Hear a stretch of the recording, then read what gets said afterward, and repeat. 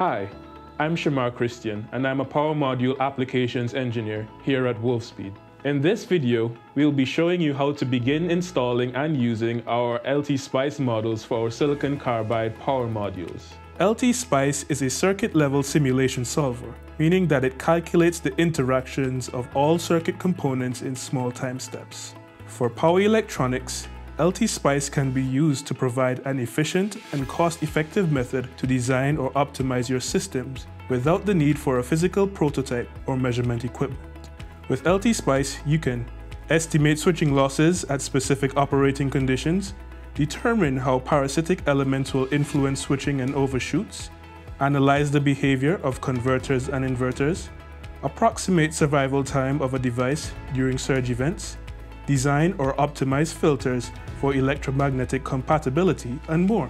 LT Spice can be used for long simulations that involve thermal, heat transfer, or closed-loop controllers. But as a designer, you will need to be strategic about how you simplify your simulations. In some cases, it may be more suitable to check out the PLECS models on our website for thermal analysis. Now, let's show you exactly how to install our Wolfspeed models. First, make sure you have the newest version of LT Spice installed by going to analog.com. Next, navigate to our website at wolfspeed.com and click on LT Spice and PLECS models under Tools and Support. Then, download the All LT Spice Models zip file. Unzip the downloaded file and you'll see some folders for different model types. Although Wolfspeed also offers LT Spice models for discrete components, we're focused on power modules for this tutorial. So, navigate to the modules folder. You will note that each subfolder here indicates the software that the models are compatible with. While they all operate the same, they do each have minor differences in syntax and structure. There is also a user guide.pdf file. Please feel free to check out this user guide for more tips and tricks on using the models. Today, we'll only be utilizing the LT Spice folder, so let's open that up.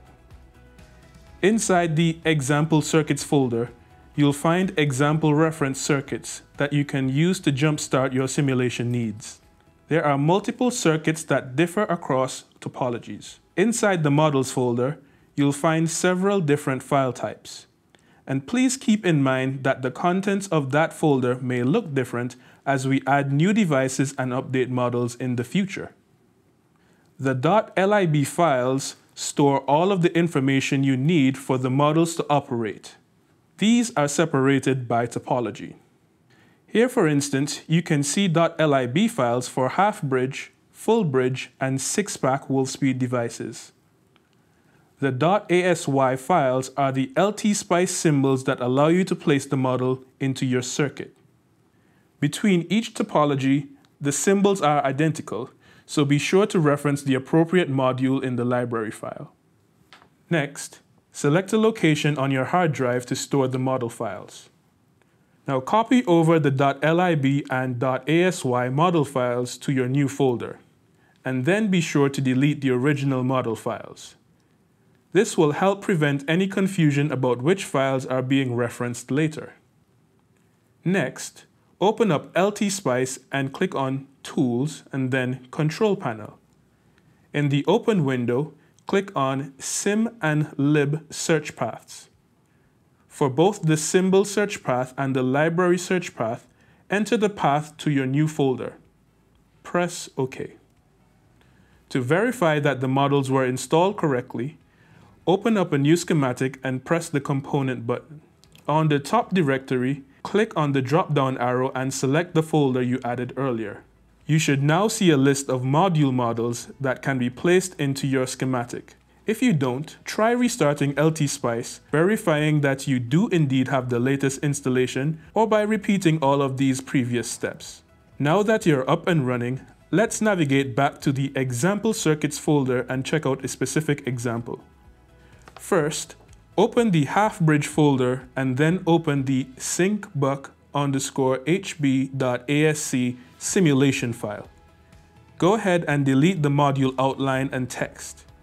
Press the component button, or F2, and place one of the half-bridge models into the circuit. Next, press the Run button. Here, we can plot the output voltage by simply clicking on the VO net. We can also look at the other quantities such as the output current of the V- node. Just hover over the node and click when you see the cursor change into a loop. Now let's add a new plot plane and view the junction temperature of the primary active switch.